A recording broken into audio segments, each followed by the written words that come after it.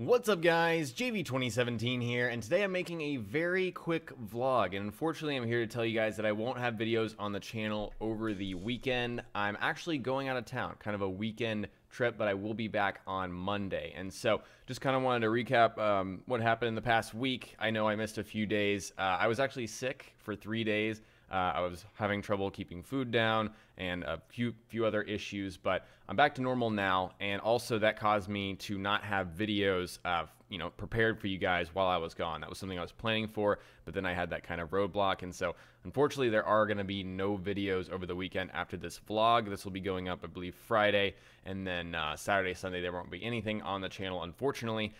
Um, but once I get back, uh, things will be completely back to normal on Monday. You'll have daily videos here on the channel just like normal. And some of those videos will be mods roulette. I know you guys have been probably looking forward to another one of those videos. Unfortunately, I was going to film one and then, you know, I got sick. And so I wasn't kind of in that mood, kind of in that uh, different kind of mood to deliver a different kind of video for you guys. And so I really couldn't pull that off. And then, of course, we have this trip here. And so I will have that prepared for you guys once I get back sometime mid next week, probably. And then we're diving right into Vault-Tec DLC, which is really exciting stuff. I think there was some um, actually linked info. I'm going to leak leaked info that I'm going to link to you guys in the description below.